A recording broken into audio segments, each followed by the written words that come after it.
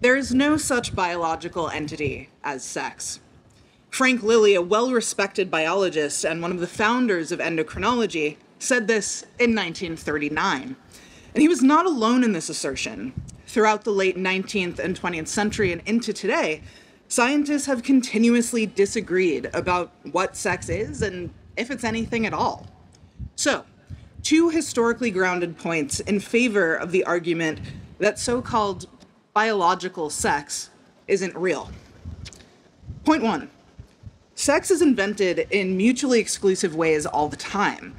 I'm going to skip over a lot of theoretical groundwork here, but trust me when I say that objects don't just exist out there in the world waiting to be described.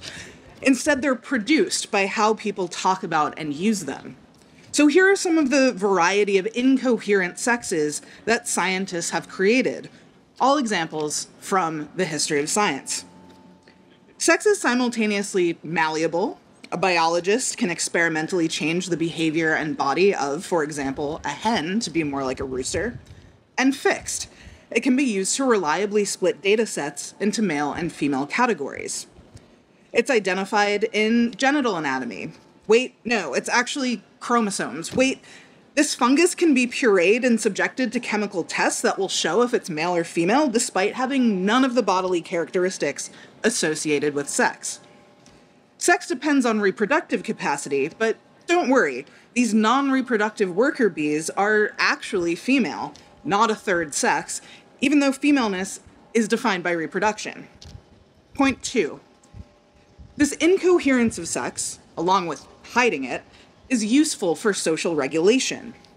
Sex, especially binary sex, has never gone away in response to copious evidence of its ill logic it continues to structure our lives precisely because it can be anything.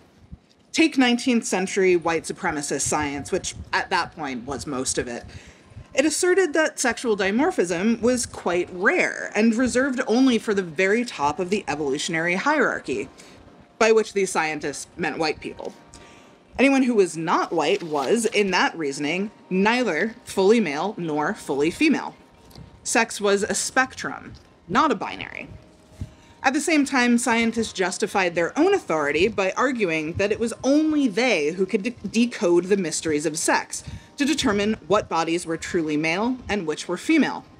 In other words, by asserting that sex was always binary, but they were the only ones who could figure it out. In closing, next time you hear someone tell you that trans people are ignoring the reality of biological sex, remember, it's actually TERFs who are obsessed with something that doesn't exist. Thanks.